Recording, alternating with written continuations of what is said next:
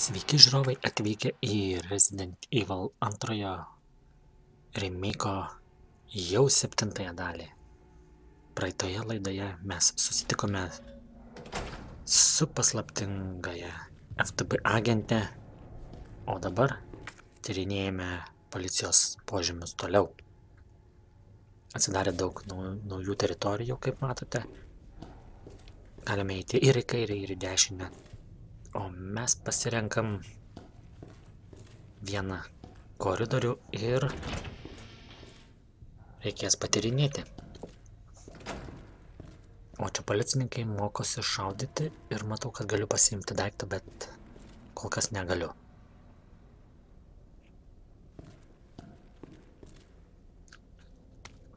Įrangos atsikratimo pranešimas. Daiktas išmetimai. Raktas nuo patrulio mašinos 7439. Detalės. Sulenktas raktas. Nebenaudojamas. Bet vis dar gali atidaryti automobilio dureles ir bagažinę su savo mygtukais. Aha, kažkokį raktą gausime. Aš manau, jisai toje dėžutėje. Patrulio mašinos raktas.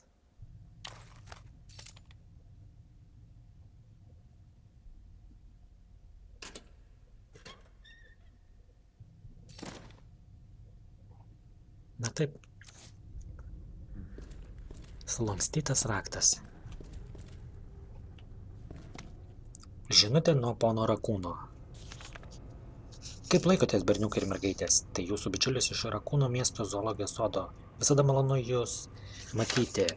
Šiandien aš noriu pakalbėti apie kažką man svarbaus. Jūs žinote mano populiarų pono Rakūno žaisliuką. Kągi, aš girdėjau, kad kai kurie blogi vaikai naudoja juos kaip taikinius. Dėl to aš labai liūdžiu.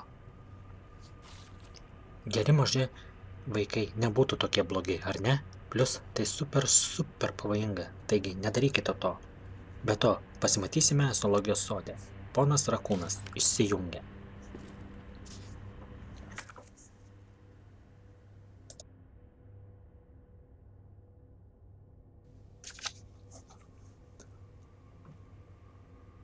Taigi šutgano, šutgano šoviniai tenai yra. Čia neįeisiu, užrakinta. Štai čia galiu įeiti.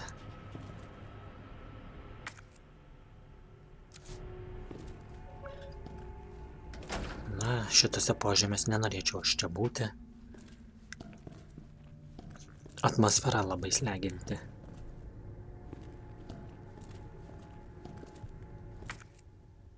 Bet šutgano šovinius tai tikrai pasiimsiu.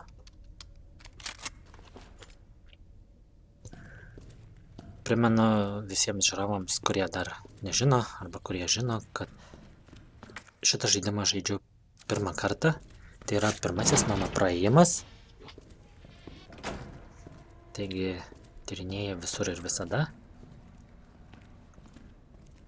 Ir jis nevyksta super duper greičiu.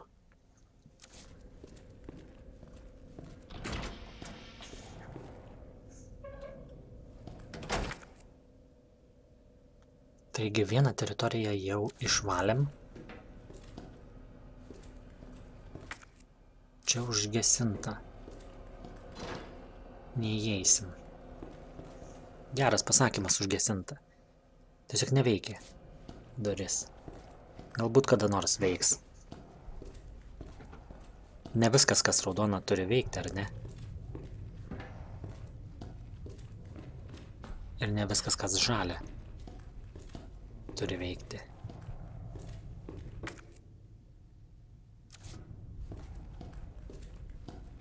Einam, patikrinsim raktą, kurį turiu.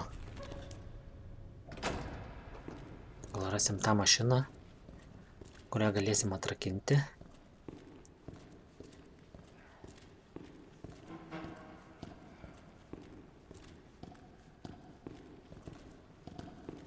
Ne ta. Ne ta. Palaukite. Reikia pažiūrėti, kas čia per raktas. Mašinos raktas 7439. Hmm. Šitie mašinos numeriai kokie? Septyni. Keturi devyni liktais buvo parašyta. Tai kodėl neina atrakinti?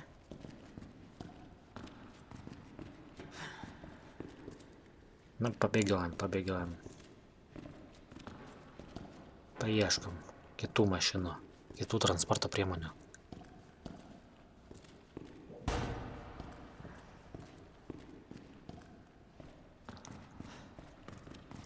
Šitas taipogi neina. Gal šitą eis?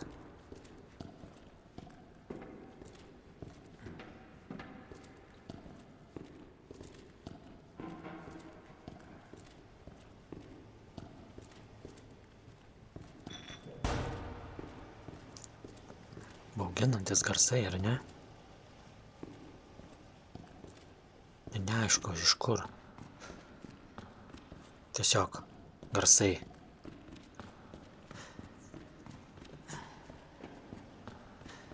Kaip matau, nieko nepiešiau. Netgi tas automobilis. Beraktis. Kasgi čia buvo parašyta?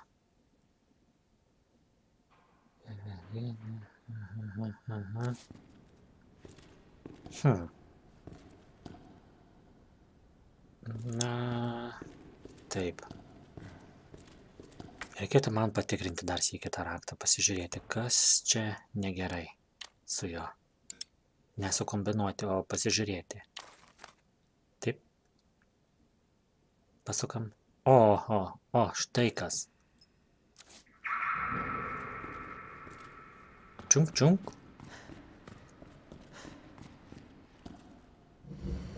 Kągi slepiate policijos mašinoje? Kokia papildoma... Papildoma apkaba ar, ar mano pistoleto?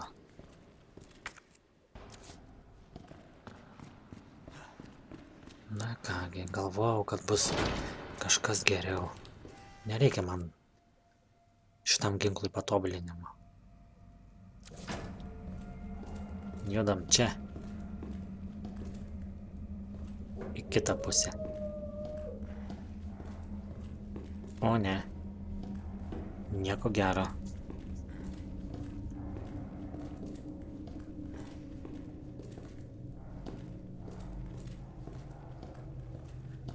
Mėlyna žolė. Paimam mėlyną žolę.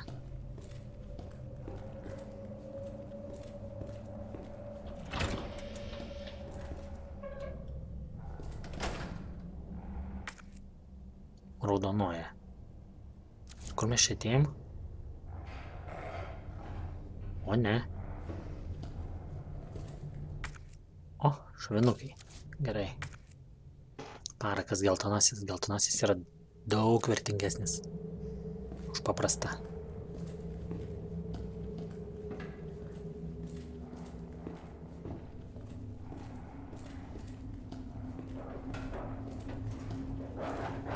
Ohoho. Vienas, du. Matau du šunis. Liktais du. Nenorėčiau, kad jie ištrūktų, nes nekenčiu šitose žaidimuose šunų. Jos yra labai sunku pataikyti. O jie tau gali pridaryti daug žalos. Tikiuosi to nesulauksiu.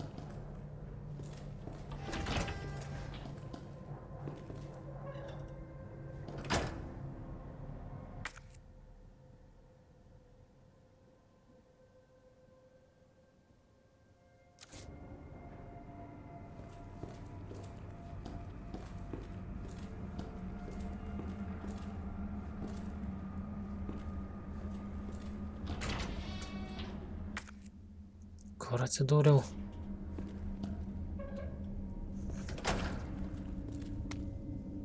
Skrodimo įrašas numeris 53477. Mirusio vardas Justinas Hansonas, vyras, kaukazietis 39 metai, apžiūrėjimas, rastas miręs kalėjimo kameros lovoje darbuotojų. Rankos vis dar kietai sugniauštos dėl rigor mortis, kuris turėtų pasibaigti. Panašu, kad jis mirė iš karto po šviesų užgesinimo.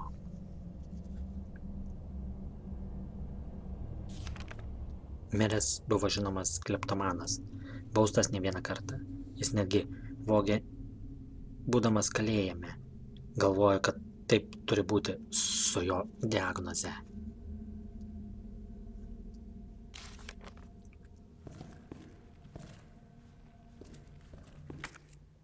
Taip, o, o, atsidūrėme morge. Kągi atsimenu iš originalaus žaidimo morgą. Nieko gero nežadėjo, nežada šitą teritoriją. Pažiūrėsim, kaip bus čia.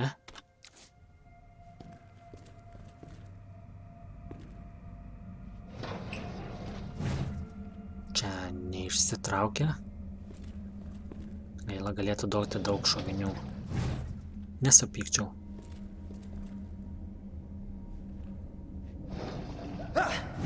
Tarakonai. Irgi priešai. Va čia geriausias. Raudona žalė. Turiu mėlyną ir raudoną. Taigi galiu sukombinuoti.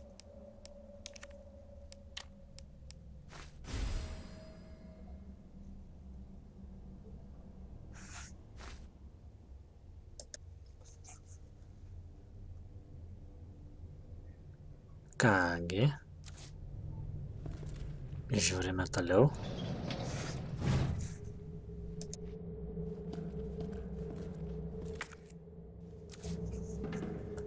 Geruoju turėtų nesibaigti.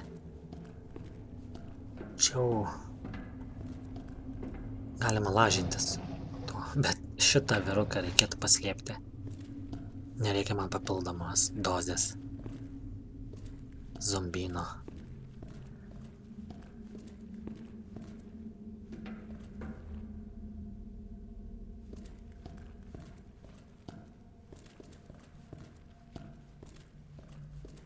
Gerai štai sukurta šito kambario atmosfera. Tiesiog toks įdomus muzikinis takelis užleistas.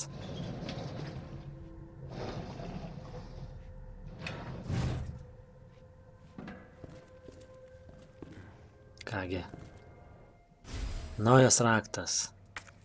Deimantinis raktas. Ir kągi. To ir reikėjo tikėtis. Du zombiai. Mm, reikėtų išmėginti šitą. Jis stovėtų, kad man būtų lengva pataikyti. Vienas šūvis, antras šūvis, trečias šūvis į galvą, ketvirtas, penktas šūvis į galvą ir jisai stovi, šeštas. O, du šūviai pro šalį. Gerai, krisk. Sekantis. Ne, ne, reikia prisileisti arčiau jį. Neapsimoka šaudyti be reikalo.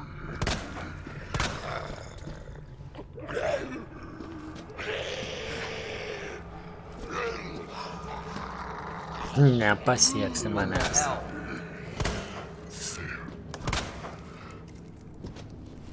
Nu.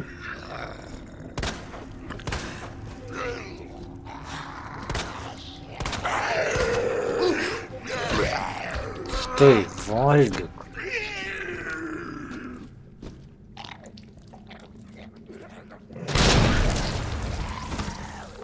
Nu taip, bum, šakalaka. Kas iš tavęs liko? Tik mėsos kratinys.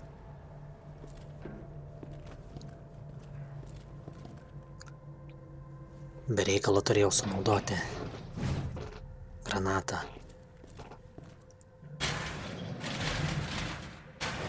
Kas purda, kas purda.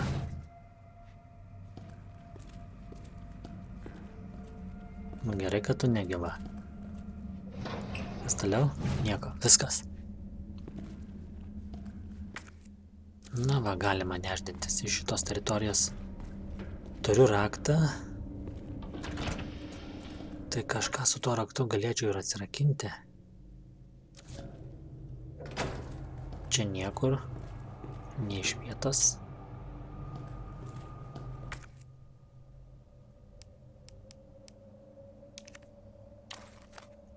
Taip, deimantinis raktas.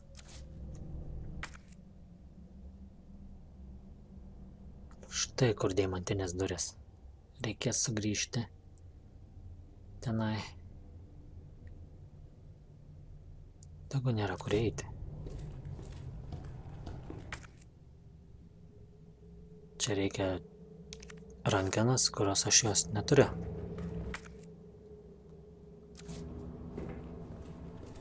Taigi bėgam.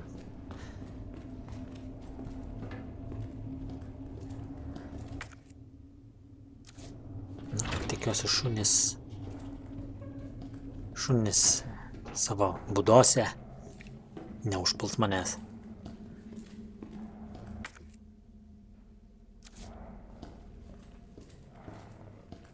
Jūs čia tupėkite, aš nieko jums nedarysiu.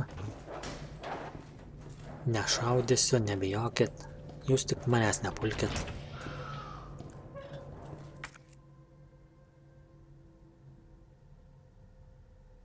Dabar tiesiai į dešinę ir į dešinę. Štai į dešinę. Tiesiai ir vėl į dešinę. Lietai pasiruošiant bet kokiam smūgiui. Niekur neskubu. Galiu ir pasivaikščioti. Čia? Taip, čia. Zombių nėra, gerai nėra. Va šitas duris, kurių man reikėjo.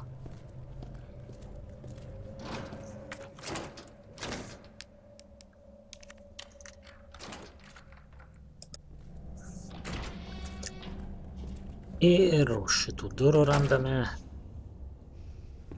mažą kambarėlį, kuriame yra raudona žolė ir filmas. Trečio aukšto spinelė. Trečio aukšto spintelės. Kodas gal? Va, o man kaip tik reikia. Jeigu bus galimybė, tikrai išsiryškinsiu šitą filmą. Nes noriu sužinoti, koks tas kodas. O kur dabar? Dabar jaučiu ten, kur... O, ne, zombiai. Taip, judam toliau. Kur nuėjo paslaptinga FTB agentė.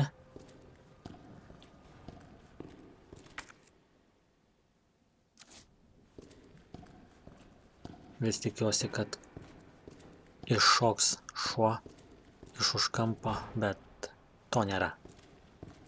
Tai gerai. Nėra, tai nėra.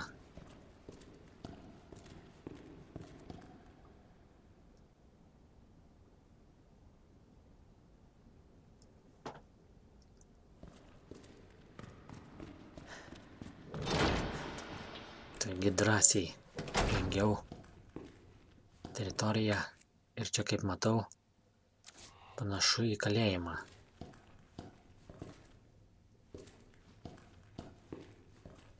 Čia, aišku, priimamojo punktas. Čia žemėlapis.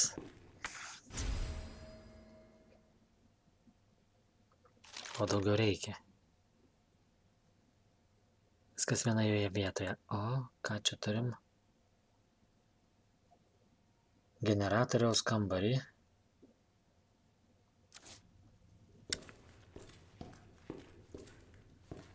Kol kas to nereikia. Einam pasižvalgyti po kalėjimą. Zombi tu gulėk. Nebandyk keltis. O, visas tiesiog raudonuoja.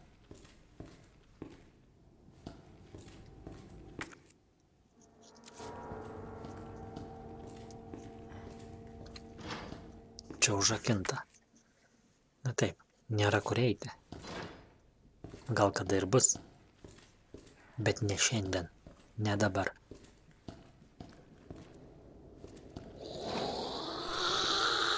Kasgi čia? Ha, gražuolė. Ateik čia, Leonai.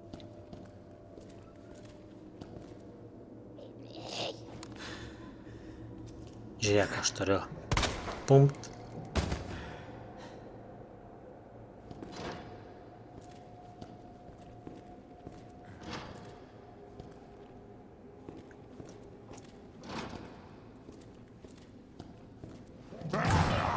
O tu žalty, Son of a bitch. kalės vaikas. Tikrai. A, pailsėk, pailsėk. Pailsėk. Tokia nuojauta, kad čia visur bus užrakinta.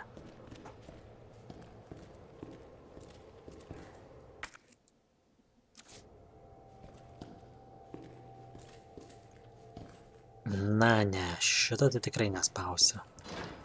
Nenoriu aš atidaryti visų kamerų.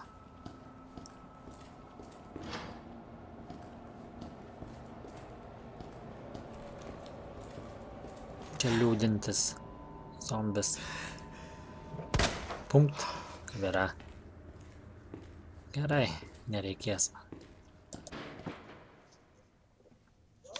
Sveiki? Hey, Hei, negaliu patikėti tuo. Tikras žmogus. Sveikas žmogau. Ar ilgai čia buvai? Pakankamai ilgai. Ar mes paskutiniai gyvi? Ne, ne. Yra keletas iš mūsų. O, tai ger, geras naujienas course Žinoma. Ernstas atsiuntė. You turiu Irons. šefas he ar jis vis dar kažkur? Kam rūpi, jos jis jau kažkieno pietus. Ką turi minėti taip sakydamas? Jis tas niekšas, kuris užrakino mane čia. Aš įsitikinęs, jūs turėjo gerą priežastį. Turėjo. Aš būčiau išklojęs viską apie jo purviną subinę. Aš manau, būčiau padaręs tą patį spėjį.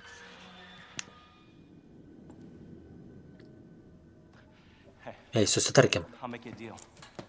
Atrakink šitą kamerą ir aš duosiu tau tai. Nėra kito kelio iš stovėjimo aikštelės, patikėk manim. Atsiprašau, aš negaliu to padaryti. Aš turiu pirmą pakalbėti su šefu.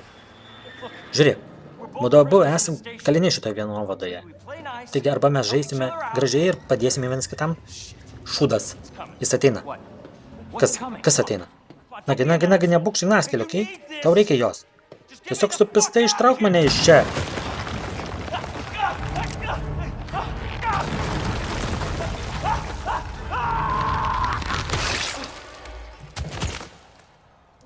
Oh my O, mano dieve.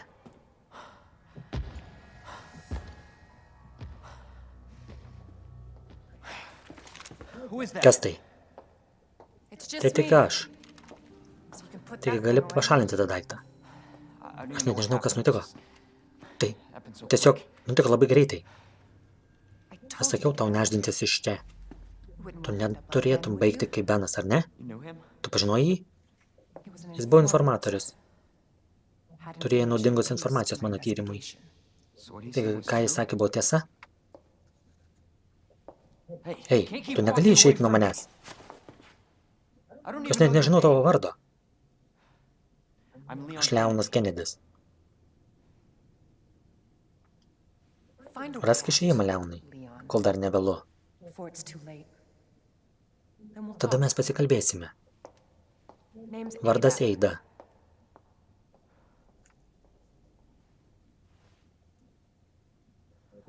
Kągi, spėjau, susitarimas galioja.